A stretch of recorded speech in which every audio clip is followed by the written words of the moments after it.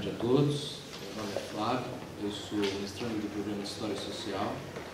Junto com o meu amigo Rodrigo, que acabou de sair para pegar o microfone, a gente organizou esse evento, a gente deu o nome de Dependência e Socialismo na América Latina hoje.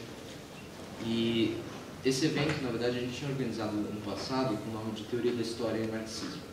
E a gente, conversando, sentiu a necessidade cada vez maior de discutir os problemas, as questões, os impasses sociais, políticos, econômicos, ah, não só do Brasil, mas também da América Latina. Porque, afinal de contas, a gente sente que, depois de tendo percorrido a graduação e estando agora na pós-graduação também, a universidade sempre está alheia, ou em grande parte alheia aos grandes problemas que perpassam nossa sociedade e a sociedade latino-americana. Então, a partir dessa discussão que nós dois tivemos, a gente resolveu elaborar esse evento, pensando justamente em trazer pessoas que pudessem nos ajudar a refletir sobre essas questões e também sobre questões que muitas vezes são deixadas de lado uh, inconscientemente, mas também muitas vezes conscientemente, como é o caso da teoria marxista da dependência. Tendo essa, tendo essa pequena fala em perspectiva, hoje a gente abre o evento com a conferência do professor Nindorix, que é professor de Economia do, eh, do Instituto de Relações Internacionais e Economia da Universidade Federal de Santa Catarina. Eu vou passar a palavra para o professor Nindorix, que vai ter mais ou menos uma hora, uma hora a gente pode dizer assim? Tudo bem? Uma hora para fazer as, a exposição dele e depois a gente vai abrir para perguntas. Obrigado. Bueno, é, queria inicialmente agradecer ao esforço dos estudantes, do Flávio do Rodrigo, pelo, pela iniciativa do seminário e pelo convite. A iniciativa do seminário é muito importante porque é uma reflexão sobre o socialismo, que é um tema que está abolido no Brasil, não é? Como o Flávio mencionou aqui, está particularmente abolido nas universidades. Quer dizer, a imagem da consciência ingênua, a consciência ingênua pensa que a universidade é a casa do saber e pensa que é a casa da heresia. E é exatamente o contrário. Lamentavelmente, nós também abandonamos no Brasil o projeto da universidade necessária do Darcy Ribeiro. E por isso que estamos afundados, todos nós, num academicismo estéreo que é essencialmente é, cumpre na universidade a função de reprodução da ideologia da classe dominante. Basicamente isso. Alguns colegas se ofendem quando eu menciono isso, mas essa é a verdade. Ela é particularmente verdadeira nos cursos de ciências humanas.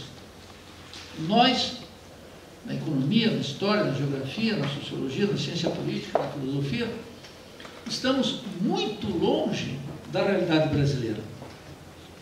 Não é assim na química, não é assim na uma parte da, dos centros tecnológicos, etc., na, nas áreas médicas mas particularmente acentuado é a função ideológica que as humanas cumprem na universidade brasileira.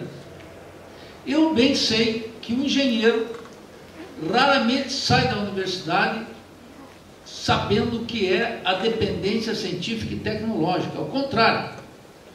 Mas pelo menos eles estão muito em contato com os problemas reais, porque eles têm que resolver questões imediatas inclusive impostas pelo mercado do trabalho.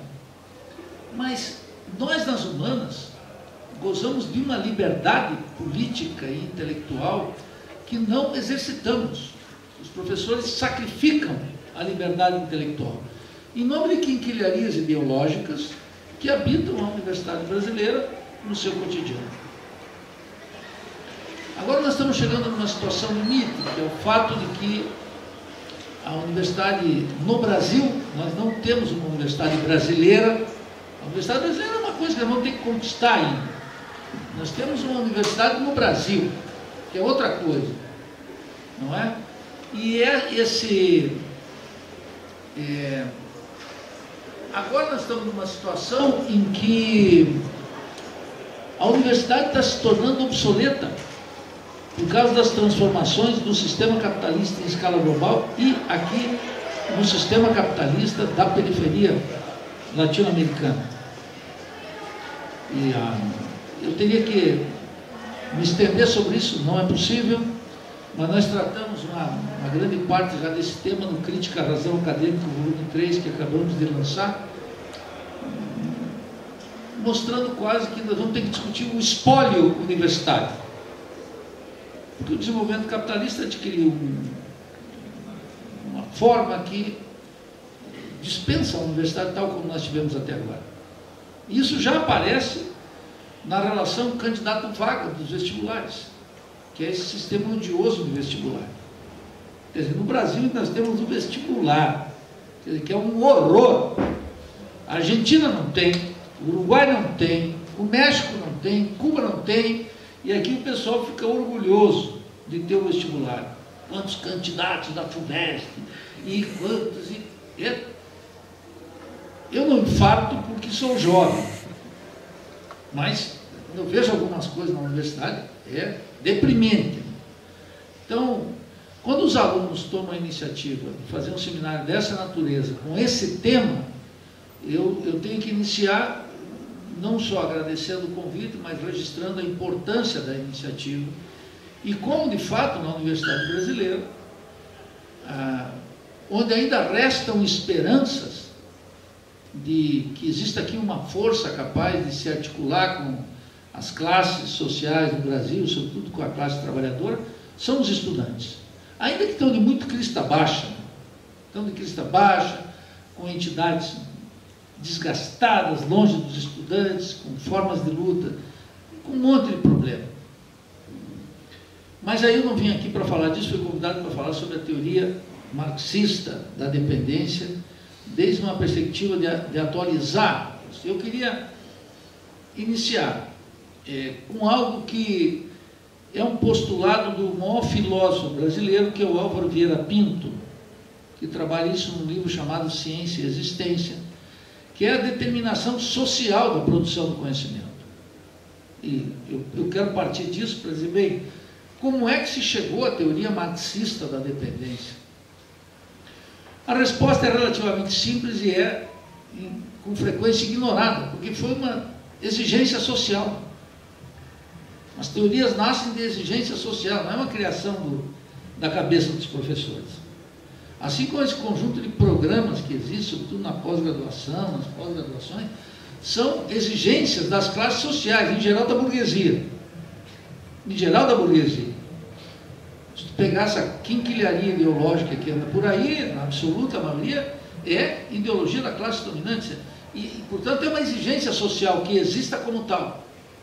E a teoria marxista da dependência foi uma exigência social no sentido que o conflito de classes na América Latina e as transformações capitalistas, portanto, no Estado, na economia, nas classes sociais e na cultura, estavam sofrendo uma qualidade de alteração que exigia uma resposta teórica, que exigia uma compreensão teórica do fenômeno real, daquilo que estava acontecendo nas nossas sociedades.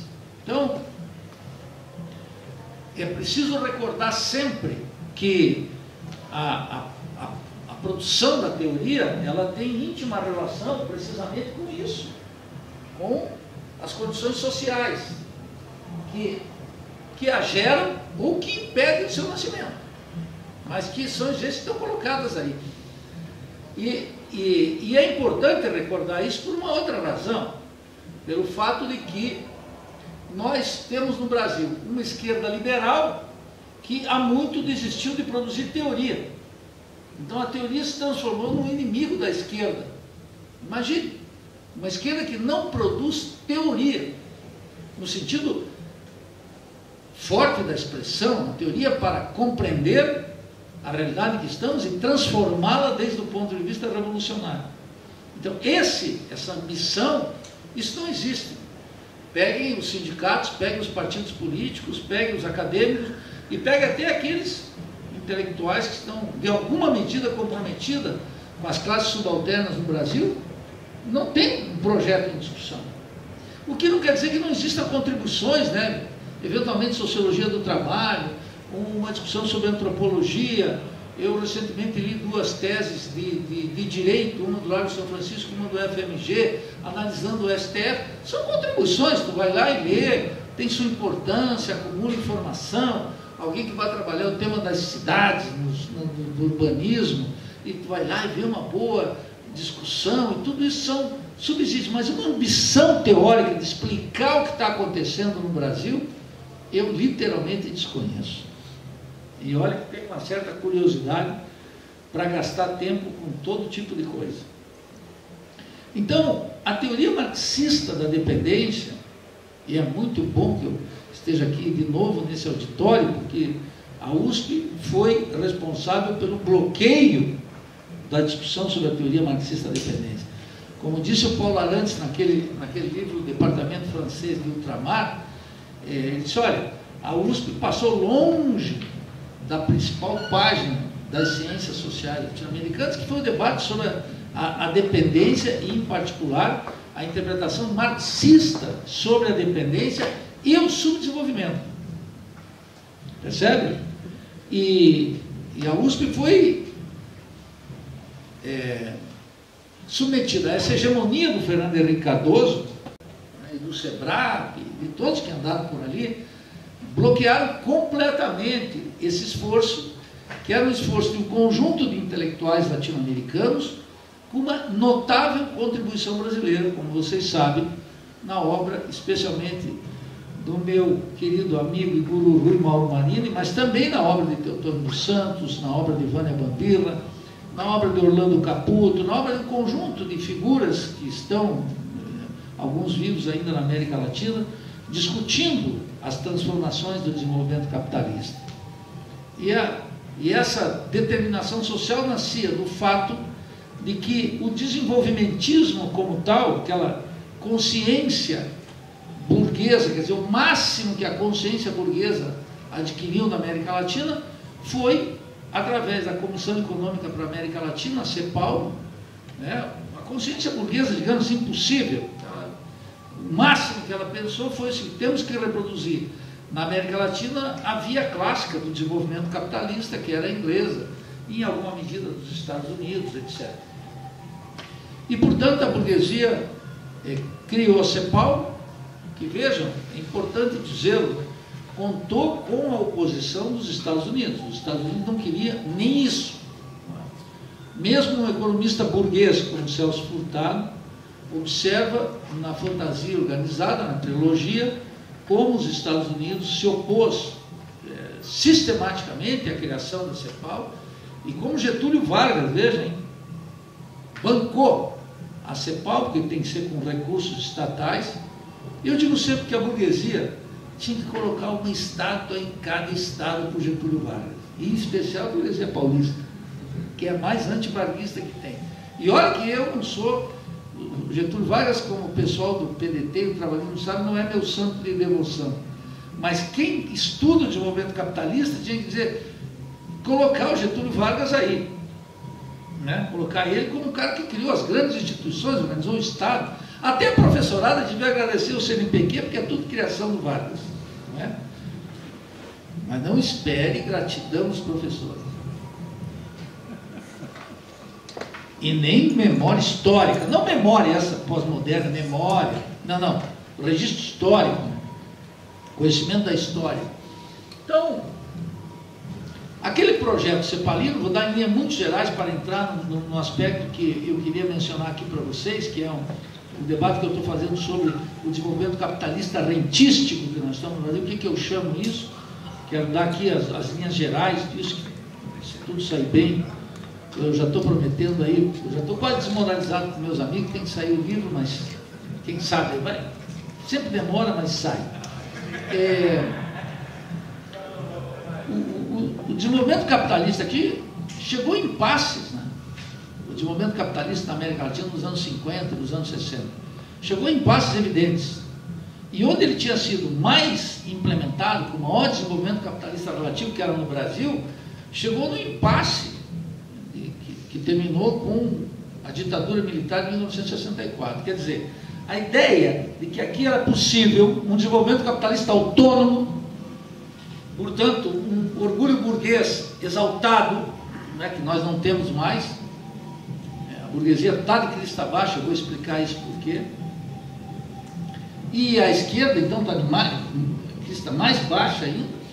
Quer dizer, o desenvolvimento capitalista relativo no Brasil, ele chegou a tal ponto que ele teve dois momentos de impasse que mostraram os limites objetivos do que, que é o subdesenvolvimento.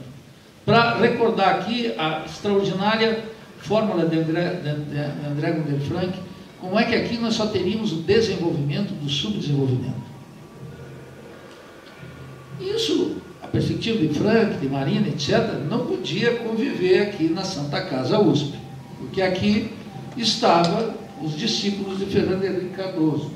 Mesmo o Chico de Oliveira, ele só descobriu tardiamente isso, no Crítica à, Razão Dualista. Mesmo assim, estava chovendo no molhado, porque ele disse ali, o Gunder Frank já tinha dito tudo em 1964. Essa é uma longa história, está lá no meu livro do figurino francês. E como eu digo sempre, eu vou dizer tudo que eu penso, porque é a última vez que eu penso em ser convidado. Esse é meu lema. Esse é meu lema. Vou dizer aí que seja assim. E aí isso também vai acabar com esse bom mocismo, né? Que não quer dizer deselegância, mas o bom mocismo não pode conviver nas ciências sociais e na crítica entre nós, porque a situação é muito grave. Muito grave.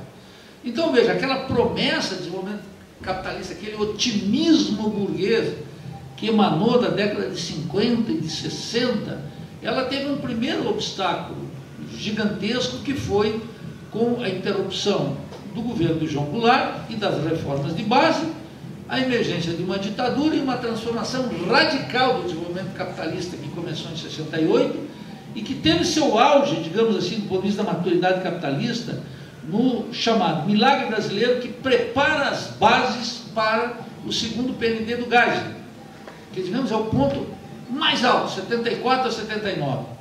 De 68 a 73, nós podíamos dizer assim como o Ciro Gomes gosta de dizer, tínhamos taxas chinesas de acumulação. O PIB era 10, 11, 12, até 13%. Mas em seguida, o, o chamado milagre brasileiro desapareceu. E desapareceu sob o impacto de uma superexploração gigantesca um grau de endividamento do Estado, endividamento externo em, em, em dólar, né, muito grande, gigantesco, que impedia o Estado de cumprir a promessa. O fôlego, eu estou aqui dando de forma muito reduzida, foi efetivamente o governo Geisel. O governo Geisel que desperta ainda, em alguns setores de, extração nacionalista, ainda desperta um certo, uma certa, um certo apreço burguês. Né? Tu vai encontrar muito desenvolvimentista que vê no Geisel um momento de expressão, porque foi aquele momento em que, de 74 a 79, segundo o PND, nós, supostamente, o desenvolvimento capitalista estava entrando no, numa dinâmica em que a produção de máquinas e equipamentos estaria sendo realizada aqui internamente. É claro que, a partir de 1979, portanto, um curto espaço de tempo, de 74, 79, 5 anos, os limites estavam objetivos. Em 64 estavam objetivos, os limites apareceram da seguinte forma. Primeiro, a transformação capitalista não poderia ser feita com a participação dos trabalhadores e num regime democrático. Ao contrário, tinha que ser feito numa ditadura. Segundo, as reformas absolutamente necessárias para o desenvolvimento capitalista, quer dizer quais? A reforma universitária, a reforma urbana, a reforma bancária, todas as reformas, a lei de remessa de lucros, etc., encontrou um limite objetivo. O governo nacional reformista de Jean Goulart não conseguia colocar para frente. Não conseguia. É claro que as massas se depararam sempre com a dialética da reforma e revolução. Da mesma forma que os revolucionários se encontram sempre com a dialética entre reforma e contra-revolução. todo aquele que é um verdadeiro reformista tem que abraçar, namorar, beijar e casar com a revolução. E aquele sujeito que casa, namora, beija e vive com a revolução tem que saber que em seguida está se enfrentando com a contra-revolução. Isso é a luta de classes intimista. Isso vale para a Revolução Cubana, para a Revolução Sandinista, para, para a Revolução Russa, para a Revolução Chinesa, para todas as revoluções. Tem que entender isso. Então, esse desenvolvimento capitalista encontrou esse, essa, essa transformação objetiva. O governo nacional reformista teve um, um limite objetivo, interrompido por uma ditadura militar, apoiada sistematicamente pelo imperialismo estadunidense, com a participação dos militares, vocês já sabem isso. E quando, dentro do regime, dentro da ditadura militar, este movimento ganhou uma transformação gigantesca, dando razão a Mauro Marinho e desmoralizando completamente a tese da estagnação de Celso Furtado, que leva a abrir um parênteses. Esse dia vi um, uma economista aí dizendo que tem que voltar a ler a estagnação de Celso Furtado por causa dos impasses da, do PIB agora. Disse, não, a tese era ruim lá, agora é, é mais descabida ainda. Né? O pessoal ficou com a palavra da estagnação. Mas, ao contrário do que pensava o Celso Furtado, e também muita gente do, sistema político, que a ditadura ia ser breve, etc., e que a estagnação viria, o descontentamento do povo, etc., e a ditadura teria que sair imbatida, o fato é que, ao contrário, como previu o Renoir Marinho, teve um brutal desenvolvimento das forças produtivas, uma transnacionalização do sistema capitalista, uma transformação radical durante o período da ditadura, de 68 a 73 e de 74 a 79. De tal maneira que quando nós entramos ali no pré-período da democratização, o desenvolvimento capitalista era outro. O Brasil era um país, depois dos 21 anos de ditadura, um país urbano, de base industrial, com uma gigantesca classe operária, com uma internacionalização do capital, com uma presença das multinacionais, com uma mega dívida externa, um país discutivelmente capitalista. Em última instância, as teses do feudalismo, da feudalidade no desenvolvimento capitalista brasileiro, que animaram o partidão em algum dos seus satélites, desapareceu para sempre, não havia mais dúvidas. Estava pronto, isso aqui é um sistema capitalista. E completamente integrado a, a, vamos chamar assim, ao funcionamento da lei do valor em escala global, com o impulso das multinacionais. Isso aqui é muito importante. Muito bem. A teoria marxista da dependência nasceu para explicar esse fenômeno. E ela tinha, de imediato, uma crítica. Era, aí se defrontou, do ponto de vista político, duas organizações, que eram as teses do PCB por um lado e as teses da POLOP por outro. Quero dizer para vocês, o Partidão gozava, até 64, de uma presença sindical gigantesca nos intelectuais, nos jornalistas, não era o, PCB com as limitações pós-ditadura, que inclusive depois daquele triste deputado chegou a desaparecer durante um tempo, foi reconstruído, etc. Era um, PCB com influência de massas, nas massas camponesas, nas massas urbanas, no meio sindical, no meio intelectual, era um partido de influência. E um partido com figuras também importantes do ponto de vista teológico. E a Polop era o contrário, uma organização muito pequenininha, centrada em algumas figuras, mas com uma tremenda capacidade intelectual que colocaram em xeque as teses do partidão. Foi. É claro que as teses da Pelop também cutucavam com força o nacional reformismo do trabalhismo, nas bases de João Goulart, inclusive de Brizola, que naquele período era, sem dúvida alguma, a liderança trabalhista mais lúcida que nós tínhamos no Brasil. E não era só uma liderança trabalhista, uma liderança que transcendia o trabalhismo. Brizola era uma figura muito estrategicamente situada, lucidamente no confronto político, desde a campanha da legalidade, que conseguiu, eh, com a renúncia de Jean Quadros, manter o João Goulart com a presidência da República a despeito do, do parlamentarismo que foi implementado, que depois, por plebiscito, foi, foi é, superado. Então, a teoria da dependência tinha essa, essa crítica. Era uma crítica às ilusões de que um capitalismo democrático, um capitalismo de base industrial, poderia adquirir uma, uma autonomia diante da cadeia imperialista global. Poderia ter uma, uma, uma, vamos chamar assim, uma autonomia relativa do desenvolvimento capitalista global. Poderia ter aqui, o Brasil não seria como a Argentina, o México, o Paraguai, menos com a Guatemala e os países caribenhos. O Brasil seria um país já com, as, dada a sua dimensão, os recursos naturais, o desenvolvimento da ciência e da tecnologia, mesmo com a internacionalização da produção, etc., seria uma possibilidade inédita. Aliás, não só na América Latina, muita gente alimentava a ilusão de que o Brasil seria um exemplo para o mundo, uma possibilidade de se desenvolver, vamos dizer na forma que o Marinho dizia, um capitalismo autônomo aqui. Dizer, que poderia, na, nas, na, nas expressões do Celso Furtado, trazer os eixos de acumulação, internalizar os eixos de acumulação. Quer dizer, a dinâmica capitalista poderia ter um eixo nacional em todos os seus sentidos. E é claro que isso fracassou. E a tese, em linhas muito gerais, da teoria marxista da dependência é que isso não era possível, isso correspondia a uma ideologia burguesa, isso correspondia a ilusões de classe, e isso correspondia a uma catástrofe inevitável. E as teses estavam baseadas em duas, três premissas fundamentais.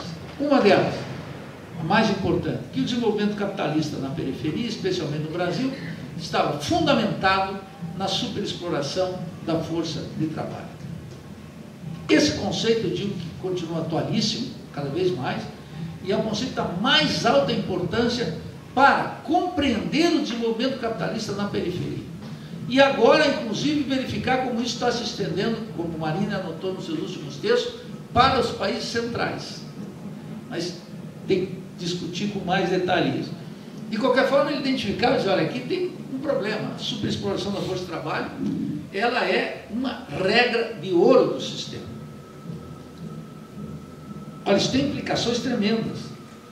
Primeiro, esqueçam o mercado interno.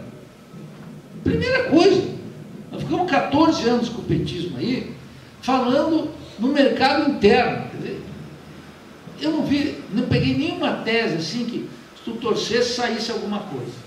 Porque ela, ela se consolidou no, fama, no famoso programa democrático e popular que alguns dizem que é tão generoso que o PT jamais executou. E, e não explicam por que, que o PT, tendo as condições que tinha, sobretudo com o Lula, um operário, e o dono da Coteminas lá, José Alencar, empresário de natureza, portanto, industrial da indústria têxtil, por que, que naquelas condições extraordinárias, por que, que aquele generoso programa não foi implementado? A resposta que eu escuto é que veio a onda neoliberal, que é uma explicação horrorosa de quinto nível. O sujeito falou em neoliberalismo, eu já interrompo a conversa. Eu saio da conversa. Percebe? O cara falou, neoliberalismo eu já estou fora. Nem converso. Porque é um chororô e não tem análise. Não tem teoria. Não tem. Aí começa a discutir. Aí sai da economia política e vamos para política econômica, sem as classes sociais.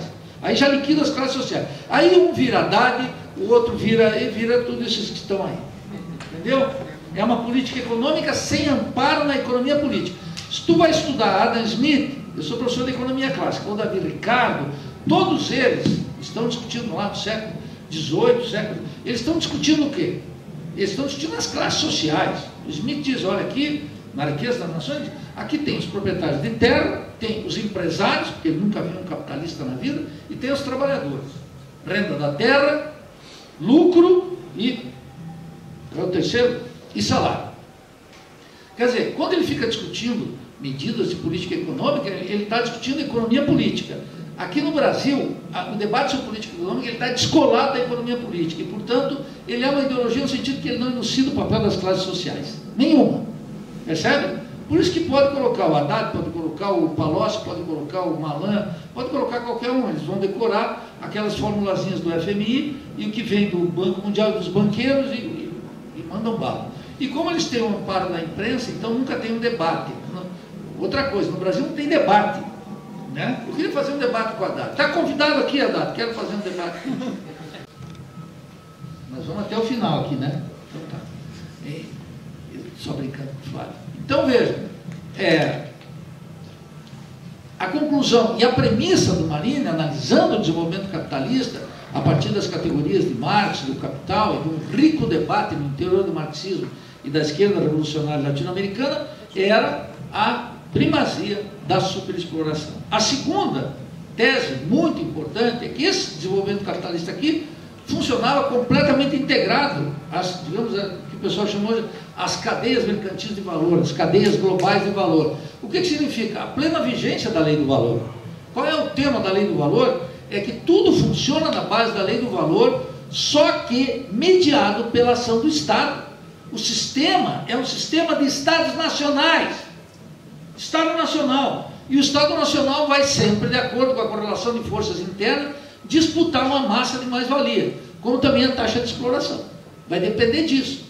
Mas o sistema funciona em escala global. Aquilo que o Marini dizia, inclusive, ele escreveu um texto depois da dialética chamado O ciclo do capital fecha fora. Quer dizer, o sistema de valorização final, ele se dá fora aqui das fronteiras nacionais. Mas o dilema sempre é esse, é um sistema que funciona na base do funcionamento da lei do valor, falseado pela ação estatal. Então isso que a esquerda liberal chama de neoliberalismo, não é só a vigência, não é senão outra coisa, senão a vigência da lei do valor de maneira plena. E o que eles chamam, porque a esquerda aqui, ela rejeita qualquer nacionalismo, ela tem medo do nacionalismo. Ela se pela de medo porque ela é moderninha, e ela quer ser convidada para os convescotes em Nova York, em Paris, cada vez menos. Então, porque ela não tem mais a barganha, né? Só é convidado se tem algo para barganhar. Então, como não tem nada, eles não são convidados. Eles ficam tudo aqui. Então, o que, que acontece? Era esse Estado Nacional, sem uma correlação de força e sem um pacto entre as classes subalternas, não pode negociar nem a taxa de exploração e nem a transferência de valor. Ela é cada vez mais livre. E é feita não só a revelia, ela é feita sobre a exploração da classe trabalhadora. De tal forma que nós podemos pegar a CAGED de julho, eu tenho divulgado os dados aí abundantemente, o que, que a gente vê lá? 92, se eu não estou equivocado, por cento da população economicamente ativa ganha até dois salários mínimos e meio. E somados os dois salários mínimos e meio, não dá o salário mínimo necessário do DIES. E tem mais, a curva entre o que ganha o povo e o salário mínimo necessário do DIES está cada vez mais se afastando. Percebe? Porque é uma economia que funciona com com taxa de câmbio cada vez mais internacionalizada, aí teria que discutir exaustivamente mais outras coisas. Mas só estou assinalando a tendência. Então, se tu pegar 72% da população economicamente ativa ganha até dois salários mínimos. Como é que o cara vai viver em São Paulo com dois salários mínimos? Está morto. Percebe? Vai viver num regime de superexploração. É a massa. Mais de 50% da força de trabalho, historicamente, nunca teve carteira assinada. Portanto, não tem previdência, não tem direito a férias, etc. É o mundo chamado. Não dá nem para falar do chão da fábrica, porque o chão da fábrica está desaparecendo. O chão da fábrica está na China, está no leste asiático, está na Indonésia, está no Vietnã, está na China, está na Índia. Foi para lá. Está outra coisa, né? O desenvolvimento capitalista nos anos 80, 60, 70, ele estava na América Latina. O Fernando Brodel mostrou isso mais do que qualquer teórico da dependência, mostrando que o desenvolvimento capitalista ele é sempre por região, não é um país, é uma região. Então, por exemplo, agora é a região asiática, puxada por esse extraordinário motor e também complicado, que é o, o, o motor chinês, mas que puxou o desenvolvimento capitalista para a Ásia. E com essa gigantesca revolução na tecnologia e nos transportes, um barco pós-Panamá é, contratado pela burguesia comercial brasileira, sai de Xangai e chega aqui em 41, 42 dias. Quer dizer que o abastecimento está garantido por um terço do preço, portanto, bye bye ABCD, acabou. E a greve que começou essa semana na, na General Motors, não é?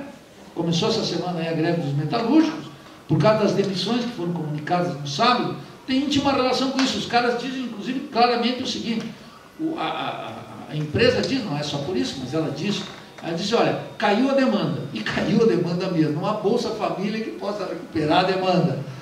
Entendeu? Entre outras coisas, porque a demanda nos últimos três trimestres, alô, alô, batalhão do trimestre. O pessoal gosta do trimestre, o pessoal da Mídia Leitão. Nos últimos três trimestres, caiu a, a, a, a o consumo dos trabalhadores. E só se manteve um nível de produto, de consumo, porque o Estado está gastando. Mas o Estado está gastando não em investimento, nem em formação bruta de capital fixo, de tal maneira que gasta, faz uma creche, termina uma obra na educação, faz um asfalto, constrói um hospital, depois para, esse dinheiro distribuiu, para, acabou, e aí não tem mais. Não tem um gigantesco desenvolvimento das forças produtivas, não tem novo investimento que vai produzir riqueza. Então está muito claro. Além do que eu vi o, o último é, análise de conjuntura do IPE, tem mais uma coisa. Ah, o, o, PIB cresce quase, estou falando que o PIB vai crescer 3%. Então, vamos dizer que 3,5%. O grande problema que o IPE já mostra é que aumenta, cresce o PIB, mas não aumenta a arrecadação fiscal, porque o crescimento é for export, é para é exportação, é para fora. Aquilo que o Marino chamava de uma economia exportadora, que agora está se configurando de uma maneira mais forte ainda do que no capitalismo dos anos 80, dos anos 70. Muito mais forte, muito mais evidente. Como não há uma discussão teórica sobre o desenvolvimento capitalista, isso passa batido quase como orgulho. Percebe? Porto de Santos, Itajaí, esses portos estão tudo uma beleza. Eu vi lá o Lula inaugurando a ferrovia da Bahia, lá com Mato Grosso, etc. É para o porto, é tudo para o porto, é tudo para fora. É minério de ferro, milho em espiga, petróleo cru, é, soja, você vê que é tudo produto de país desenvolvido de fronteira tecnológica, como vocês podem perceber. É esse o desenvolvimento capitalista, para fora. Que não paga imposto, então a arrecadação cai, nós vamos ver como é que vai ser o ajuste fiscal do Mr. Haddad no próximo ano. Bem, superexploração, uma transferência de valor, e são duas normas. Agora eu agregaria, então, já que mencionei rapidamente, o fato de que esse desenvolvimento capitalista vai se intensificar cada vez mais com uma economia, como o Cepalino dizia, hacia fora. Mas o hacia fora deles tinha uma base industrial, agora é uma economia exportadora. Não tem como ser uma economia, não ser uma economia exportadora. Só que é uma economia exportadora, ademais, que está baseada na exportação de produtos agrícolas e minerais, perdendo violentamente a sua antiga base industrial. Então veja aqui, se configurou um quadro aí, que essa era a contribuição notável, que enfrentava as debilidades teóricas do nacionalismo reformista, do trabalhismo e as insuficiências teóricas e políticas do Partido Comunista Brasileiro e seus respectivos herdeiros. Só para não ficar lá brigando com o Jango e com o Luiz Carlos Prestes lá nos anos 60, vamos colocar o seguinte: toda a esquerda petista e seus arredores ainda são, em alguma medida, viúvas do programa democrático e popular, né, do, do famoso encontro do PT, que foi, digamos assim, a formulação teórica mais acabada, mas ela tinha todas as ilusões do desenvolvimentismo. Aquilo que o PT depois reproduziu era uma, era uma cópia mal feita dos nacionalistas de índole revolucionária e das teses do partidão. Como diz os mexicanos, um refrito. Vamos refritar isso aqui, esses restos aqui todos, mas não tinha uma narração teórica.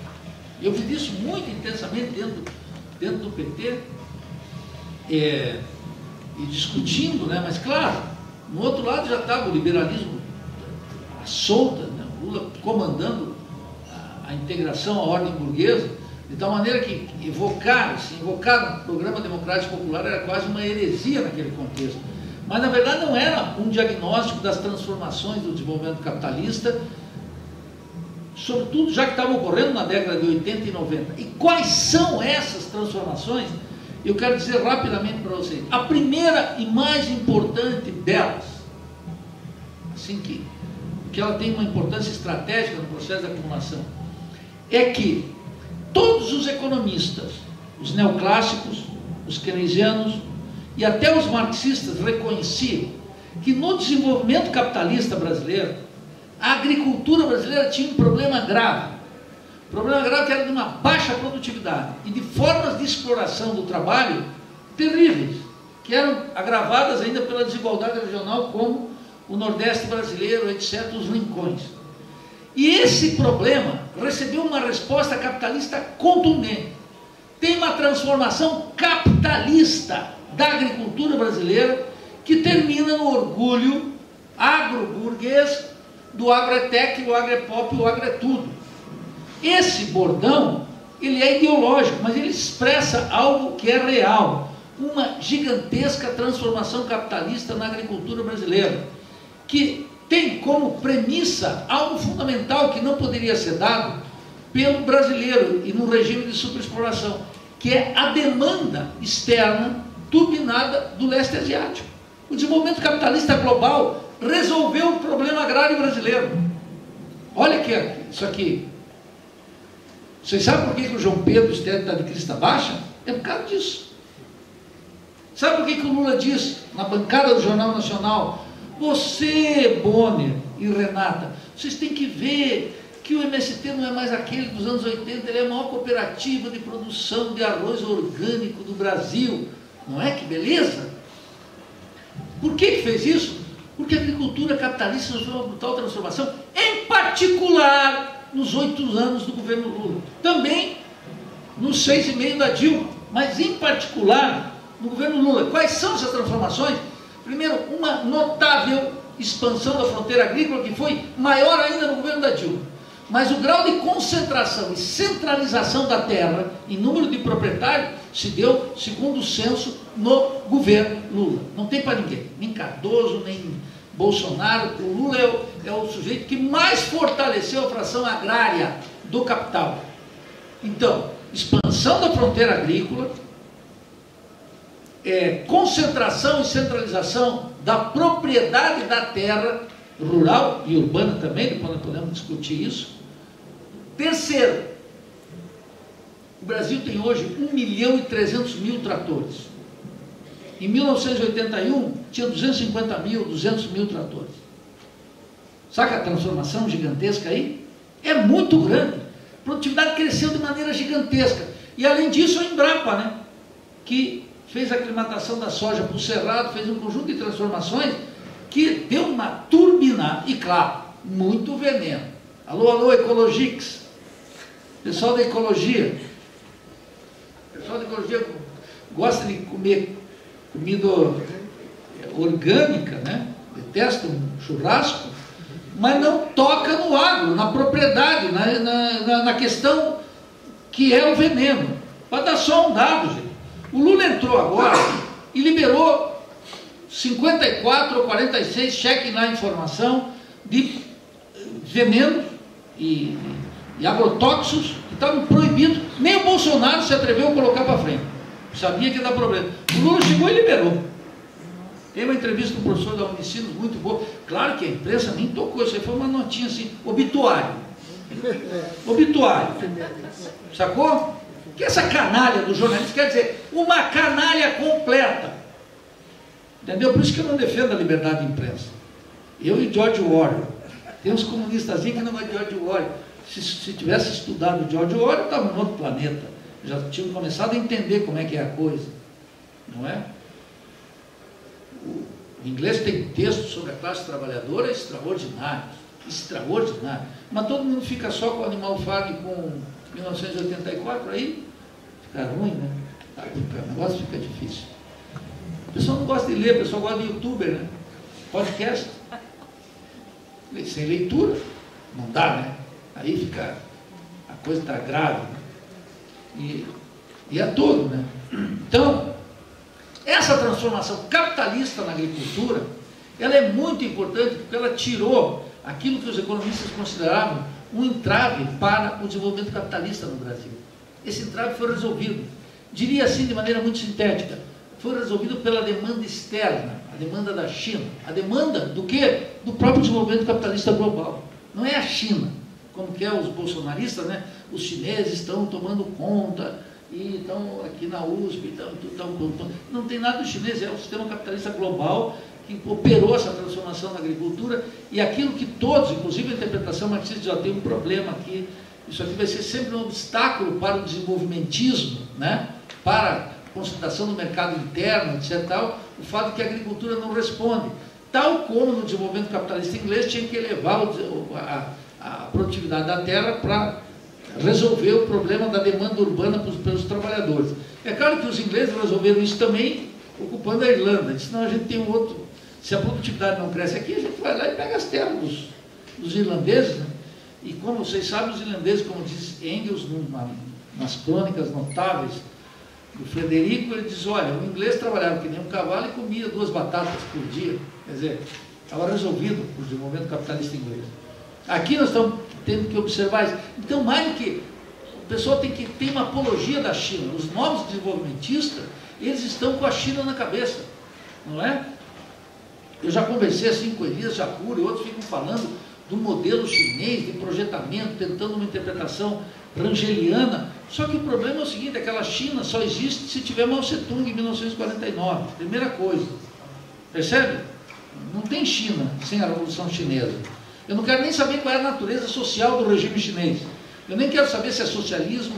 Eu estou dizendo que aquele, aquele processo de transformação da China, ele está acoplado com as transformações do capitalismo em escala global. Não, não dá para ver a China só com o processo nacional. Ela está completamente integrada. A cadeia imperialista, as multinacionais, a demanda mundial, a revolução científico-técnica, um conjunto de processos, está tudo articulado. A despeito da guerra produtivo comercial que a China tem com os Estados Unidos, aqui é colar, porque é, é colaboração e é rivalidade. Sempre foi assim, sempre vai ser assim. Não é, é uma. Pessoal fala guerra comercial. Que guerra comercial? Guerra pela produção. Quem é que vai produzir a próxima lente aqui, que vai falar, ou sei lá o que, que a lente vai fazer, que os chineses vão inventar. Eles vão inventar a coisa. Agora é a guerra dos chips, né? Eles estão aí e os chineses estão resolvendo a parada. Cada um à sua maneira. Então, a primeira grande transformação é ela liquida aquele atraso nas relações capitalistas de produção no campo. Isso é uma, um notável contraste com o desenvolvimento capitalista até os anos 80 e até os anos 90. Nos últimos 20 anos, essa transformação no agro, que tem sido muito pouco estudada, mas está no censo, está no conjunto de autores que são a favor do agro, tu vai lá garimpar os dados, ver ele é muito importante.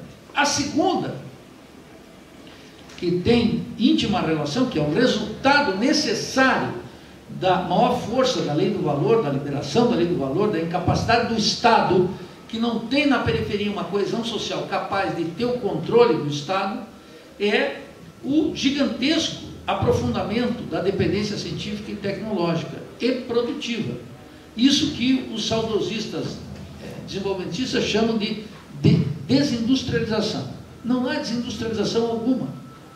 Percebe? Não há desindustrialização. O que há é um fenômeno muito importante, um fenômeno estrategicamente decisivo, resultado da ação da lei do valor, que é precisamente o fato de que a produção, a, a revolução dos transportes, a, as transformações da revolução científico-técnica, da revolução informacional, permite que a produção se dê no leste asiático. Se dê no leste asiático. Eu tenho ex-alunos meus que são atuam no comércio, no, no tráfico de mercadorias internacional, que eles passam grandes temporadas no leste asiático, importando o quê? Tudo. Óculos, cimento, cimento. Sabe que é um produto tecnologicamente muito sofisticado, difícil de fazer. Cimento, tudo, tudo que vocês imaginarem, qualquer coisa, na gigantesca produção asiática, especialmente chinesa, mas não só China, Indonésia. Indonésia, negócio assim, Vietnã. É, um, é numa escala. Eu tenho clareza, se o Marx estivesse aqui, ele estaria em Xangai e em Pequim estudando o desenvolvimento capitalista. Tal como ele foi para a Inglaterra, é o coração do processo de expansão. Claro que tem os Estados Unidos, tem o imperialismo, tem tudo isso, mas a escala asiática é uma escala tão gigantesca que acabou com os países da periferia capitalista. Não tem. E aí vou mostrar como é que isso. Então, a primeira transformação é essa. A segunda foi o eixo da produção industrial se deslocou definitivamente para a Ásia e debilitou totalmente a burguesia industrial e quebrou mais um pé da ilusão desenvolvimentista. Não tem como. Não há BNDES possível. Não tem BNDES. Você viu a gestão do Aloysio Mercadante? Pífia. Pífia. Qual é o grande projeto do BNDES? Me dá um aí. Está tão ruim a coisa que até o Ciro Gomes aceitou um convite para ir lá conversar. Eu não sei o que ele foi fazer lá. Vejam, então não há, digamos assim, a chamada poupança interna que o BNDES, como um banco de desenvolvimento, que pudesse colocar isso. Por que, que não pode? Bem, por causa da modalidade geral do desenvolvimento capitalista, isso tem a ver com esforço fiscal, com um conjunto de coisas, mas, sobretudo, tem a ver com um mega processo de endividamento estatal. Nas décadas anteriores, em dólar, na dívida externa, e agora numa modalidade muito mais eficaz, muito melhor para a burguesia, que é a dívida interna. Que a dívida interna funciona como uma sucção do excedente aqui produzido de uma maneira gigantesca, legitimada nessa coesão que está articulada com a burguesia comercial, com a fração industrial, com a fração, sob coordenação da, da fração bancária, e com o que resta de burguesia industrial. Eu quero sublinhar o que resta, porque está cada vez mais em queda, cada vez mais, e vai ser maior ainda. E vou dizer, o Estado que vai sofrer a, a maior consequência é São Paulo, porque era onde era a base industrial. Por isso que esse interiorzão aí, agrobusiness, ele é o que dá as cartas. Percebe como é que é? Não tem como. É, todas as últimas greves, manifestações do movimento sindical metalúrgico é para manutenção da multinacional aqui. Vejam todas as greves que estão acontecendo. Todas elas. Todas as manifestações é uma ameaça. Ou de demissão, que é produzir mais com menos, ou simplesmente fechar a fábrica e tirar a fábrica daqui. E o Estado não tem uma estratégia, nem pode ter, porque ele, mesmo que ele quisesse bancar isso, através, digamos assim, dos recursos nacionais, para, no jargão petista, manter renda e emprego, ele não pode fazê-lo porque o fundo, a, a, a, a, potência fiscal do Estado é nenhuma nesse regime de sucção do excedente via dívida pública. Então não tem como fazer isso. Os instrumentos são muito modestos do BNDES, para dar o exemplo mais importante. E nem, e o maior escândalo naturalmente é o picolé de chuchu no Ministério da Indústria e Comércio, que não tem nenhum programa industrial. O ex-governador aqui de São Paulo. Como disse o Flávio Dino, de maneira de muito mau gosto, né, um Fidel Castro daqui, dado o tempo que ele permaneceu como governador. Veja que esse Flávio Dino também tem cada uma que é de doer, né? Então essa, essa, essa, esse aprofundamento da dependência científica e tecnológica, produtiva, científica e tecnológica, aparece no discurso desenvolvimentista e no chororô dos antineoliberais, da esquerda liberal, como expressão da desindustrialização, que tal fato não existe, nem internamente, nem no mundo. O mundo continua com o chão da fábrica mandando bala. Só que o chão da fábrica saiu daqui e foi para o leste asiático e naturalmente dentro dos Estados Unidos. Não é? Não vai, os Estados Unidos não vão abrir mão disso, não podem, não farão. O desenvolvimento capitalista não permite. Então, claro que nesse contexto se fortaleceu o capital comercial importador. Percebe? O capital comercial importador. Como eu digo sempre, tem as duas versões. O velho da van para os do mal e a Luísa Trajano para os de bem. Mas os dois, com a conta bancária recheada, ganhando em cima da internacionalização da economia. O capital comercial é uma expressão dessa transnacionalização da economia, do raquitismo da fração industrial e das formas predatórias de acumulação de capital em cima da dívida pública. Essa transformação do desenvolvimento capitalista, a meu juízo, caducou em função das transformações gerais e da transformação da qualidade do desenvolvimento capitalista aqui, a tese do Marinho e do subimperialismo. Por quê? Porque o subimperialismo, como explica o Marini, era uma, era uma pulsão da economia mundial. Quando a economia mundial estava num processo, digamos, cíclico de expansão, de reprodução ampliada do capital, permitia dependendo das condições em alguma, alguma periferia, a possibilidade de um desenvolvimento industrial que permitia a prática do subimperialismo. Por isso que a tese do subimperialismo foi atualizada no período Geisel, de 74 a 79. Ali ela apareceu como uma explicação viável.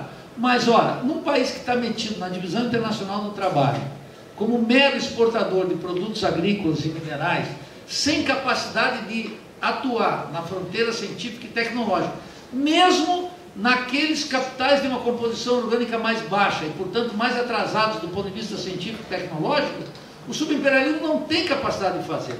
Ao contrário, nós ficamos competindo com o Equador, a, a, a, a Colômbia, o México, o Brasil no petróleo, aí nós ficamos competindo entre nós mesmos, não é? e o que está acontecendo? Eu vi nesse último boletim do IPEA, como cai o volume como cai o valor, historicamente a deterioração dos termos de troca fazia o quê? Multiplicava o volume para compensar a perda de valor. E até o IPEA, que perdeu uma base, digamos assim, metodológica mais rigorosa, ele está mostrando isso.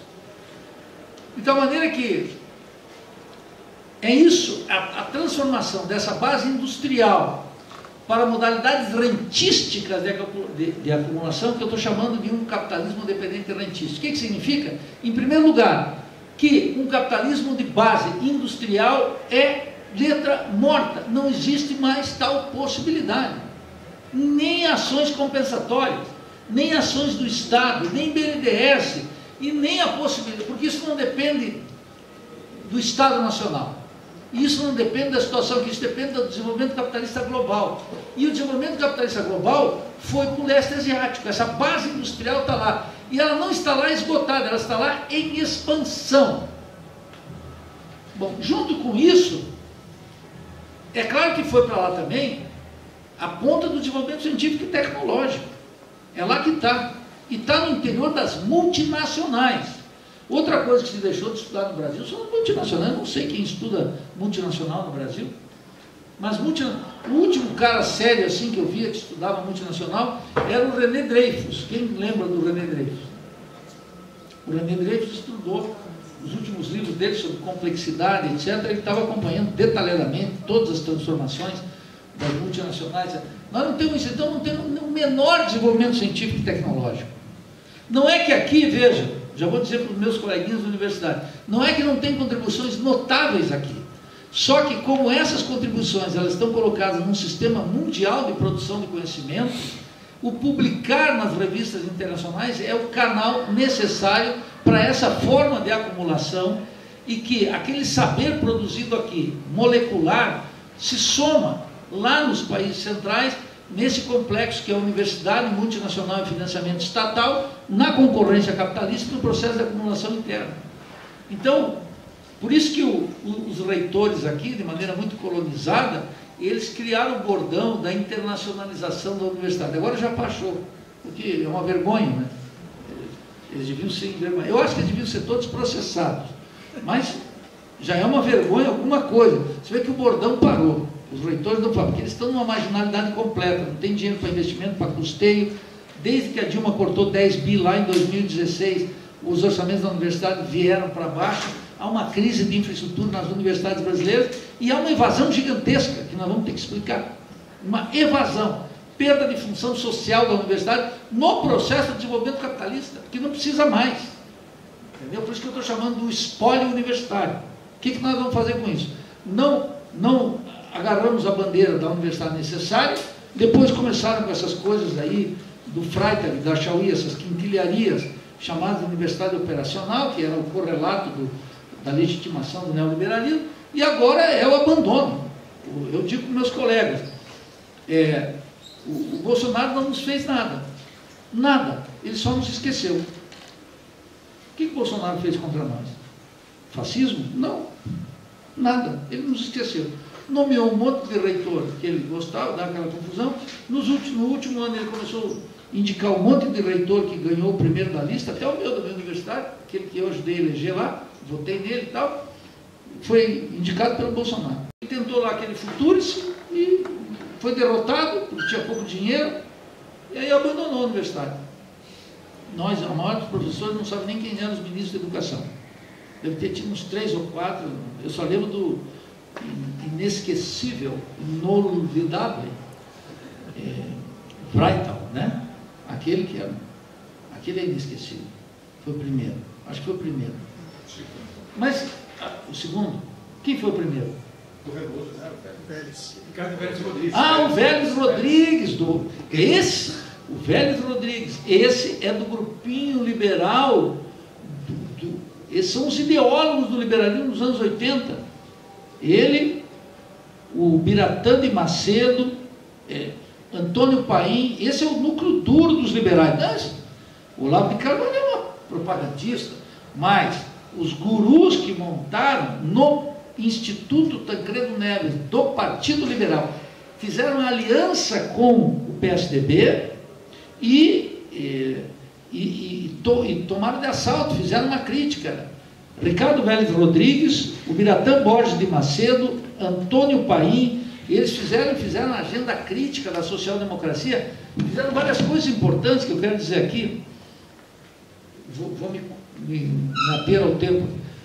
Eles, eles, por exemplo, disseram o seguinte: olha, acabou a briga com a teologia da libertação, vamos pacificar os católicos. Pacificar os católicos.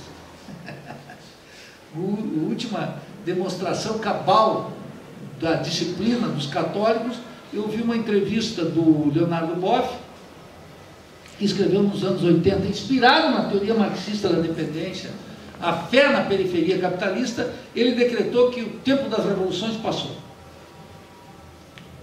Claro, João Paulo II, Ratzinger, o chefe da congregação da fé. E agora o que, pode? Pode o Bergoglio, que é o Lula do Vaticano, contra a pobreza, Bolsa Família, etc. Isso pode. Caridade católica, filantropia.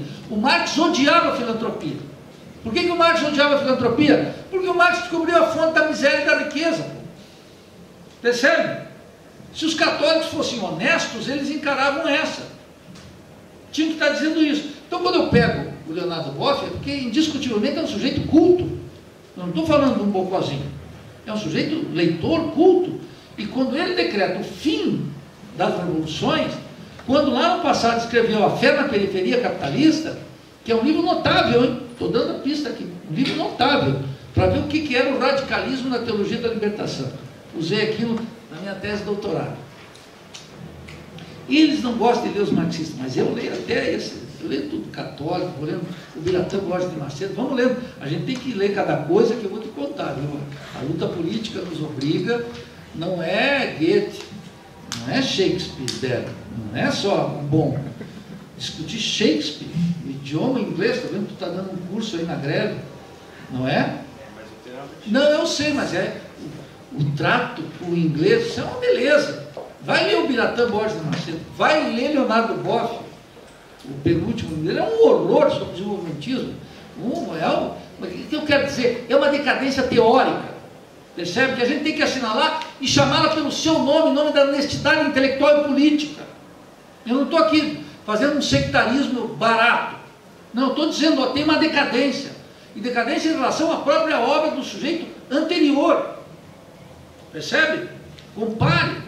Então, é, esses caras, a Universidade ficou marginal, eu só estou tocando nisso para mostrar uma faceta da marginalidade científica e tecnológica. Como na onda da revolução científica e tecnológica, os países da periferia desapareceram.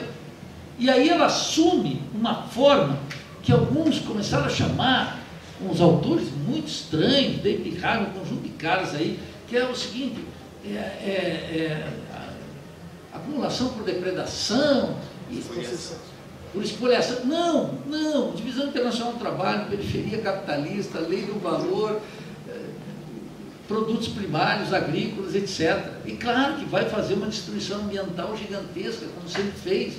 E tem que ter uma pressão sobre os indígenas tremenda, porque está produzindo carros aqui no ABCD? Não. Qual vai ser a modalidade? Vai ser essa que está aí. E só vai piorar. Então, esse caráter que, que eu quero dizer? Bom, não é que a renda da terra ela vai ser o motor do desenvolvimento capitalista. Não é isso que eu estou dizendo. Ela ganhou uma proeminência. Junto com ela, tem a renda petroleira, rapaziada. A renda petroleira não é qualquer coisa. O, pré-sal, a descoberta do pré-sal e a legislação entreguista da dona Dilma, em aliança com José Serra, liquidou, começou a criar a situação dessa Petrobras e da entrega dos dividendos para o estrangeiro, uma parte para o Tesouro Nacional e uma parte para os acionistas que investem aqui no Brasil. Mas a grande parte vai para fora. E é por isso que o Lula não mexe na Petrobras, é por isso que Jean Paul Prats não mexe na Petrobras. E não consegue nem no bordão lulista abrasileirar o preço, como está denunciando de maneira reiterada o vice-presidente da IPET, o Felipe Coutinho. Está claro, a IPET está brigando aí. E como também está soltando fogo pelo nariz o Guilherme Estrela, que é o geólogo responsável, em larga medida, pela descoberta do pré-sal, com um conjunto de técnicos, engenheiros, geólogos da Petrobras, está completamente desanimado com o que está acontecendo. E não é porque não tem correlação de força, o governo não dá nenhuma iniciativa para mudar isso. E faz parte da luta política. Qual é a luta política? Você pode ir para os embates, não tem que ganhar. Percebe? Tu vai lá para disputar.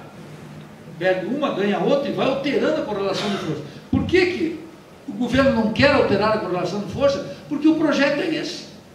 Não é que tem o neoliberalismo. Não, o projeto é esse. É o projeto da autonomia do Banco Central, é o projeto do rentismo, é o projeto de fortalecimento da fração agrária, de fortalecimento da fração comercial cada vez mais monopolizada, de fortalecimento do sistema bancário da, do assalto à dívida pública e de debilitamento da indústria, da fração industrial do capital, seja ela nacional ou associada com o capital estrangeiro. Em última instância, o aprofundamento da dependência, baseado no quê? Numa brutal exploração da força de trabalho.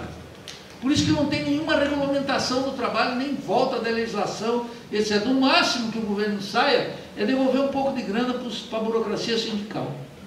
Com uma, como é que eles chamam? Com a, é, com a contribuição sindical. Isso que eles estão discutindo. Nada mais.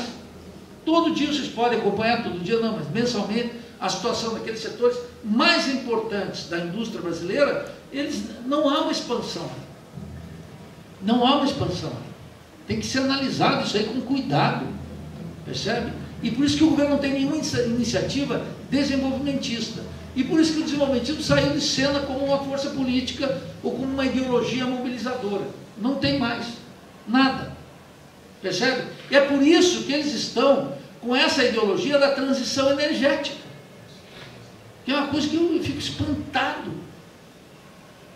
De quinta. E o Haddad diz: olha uma janela, essa metáfora, a janela de oportunidades.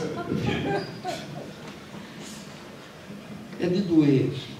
E o pior, eu vi uma entrevista de duas horas do Paulo Guedes, ele repete a mesma coisa sobre a transição energética. Ele e o, o Haddad têm a mesma, eu não vou dizer onde é que eu vi, porque eu não quero divulgar mas naturalmente não foi num site daqueles os ultraliberais que tem aí. E eu fiquei duas horas ouvindo o Paulo Guedes. É, olha, aquilo ali o cara tem que ser. Ali o cara tem que ser, porque é uma bobajada, uma ideologia o. E o entrevistador é mais ideólogo, ideólogo ainda, você tem que ficar ali. Sabe, você sabe o que, vai acontecer, mas você fica vendo. Você sabe o que vai acontecer, fica vendo. É, é terrível. Então, é, para terminar, é, Flávio, essa transformação que ocorreu. Bom, agora se impõe, esse é o recado final então, se impõe o seguinte, tal como lá, a teoria marxista da dependência nasceu por uma necessidade social de explicar o que está acontecendo, Agora se coloca a mesma coisa. Porque nem o desenvolvimentismo está aí aparecendo como algo é, capaz de seduzir. Mas nós temos que explicar por que a decadência. Por que essa decadência? Por que o capitalismo aqui assumiu essas formas aparentemente tão predatórias, tão decadentes, sem o velho otimismo burguês? Por que, que aquele otimismo burguês que informou o projeto Cepalino, que informou o desenvolvimentismo até os anos 80 e que alimentou ilusões na democratização, ele não contém mais, ele não é mais um combustível para a política, para os partidos, para os sindicatos. para nada. Então, eu concluo com isso, Flávio. A grande questão agora é que a crítica marxista ao desenvolvimento capitalista não tem o adversário que foi o desenvolvimentismo.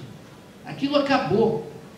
Então nós não temos aqui um adversário, digamos assim, visível, com corpo teórico arrumado. Nós temos uma, uma ideologia que assume várias feições e que precisa ser encarada como tal. No terreno da política, na crítica total, na oposição a esse governo, não a outra. Segundo, teoricamente, não cabe mais cutucar das misérias teóricas do Haddad, do Mantega, do Anísio Mercadante, não, não cabe mais. Não, ali não sai suco nenhum. Nós temos que agora propor, esse é o esforço que eu estou fazendo, mas é um, eu sei que outras pessoas também estão trabalhando nessa direção, que é explicar o que é essa nova fase, alguns dizem esse novo padrão de acumulação capitalista. E eu digo, esse desenvolvimento capitalista de caráter rentístico. Quais são as modalidades? Quais são os desdobramentos necessários? Como parte do desenvolvimento da economia mundial. Em crise, numa crise cíclica, etc., que não vai se, se cair, não vai se derrubar, né? como se diz em espanhol, não, não, há uma, não é um derrumbe aqui do sistema, porque precisa ter uma internacional comunista, precisa ter os trabalhadores, precisa ter mobilizações, etc. Esse é o, é o desafio hoje. A gente mostrar o que está. E nesse sentido, se nós não temos o, o, adversário, é, uma, é um campo vasto, sozinho, ninguém está fazendo isso. Os que querem fazer alguma coisa estão discutindo política econômica. A relação entre política fiscal, monetária, cambial, dose de uma, dose de outra. E aí tem miséria da com o pé por aí. Pode pegar da valsa brasileira da Laura Carvalho. Da Laura Carvalho, pode pegar aquilo que é que aquilo é só como me escalo para estar na diretoria do BNDES ou na Secretaria de Planejamento ou no Ministério. São esses economistas todos aí, que Mônica de Boy, todo, todos esses que estão aí, o Baixa, todos esses que discutem só política econômica, descolada do corpo da economia política e naturalmente sem nenhuma relação às classes sociais. E por último, claro, por óbvio que é, eles não estão preocupados na revolução social, que é a coisa que nós temos que fazer. Discutir qual é o caminho da Revolução Brasileira nesses escombros, nessa solidão, nessa escuridão, nessa, nesse aparente deserto. Essa é a nossa tarefa, não há outra. E eu quero dizer que é uma tarefa nobre, das melhores. Se tivermos que fracassar, vamos fracassar trotando nesse caminho. Muito obrigado.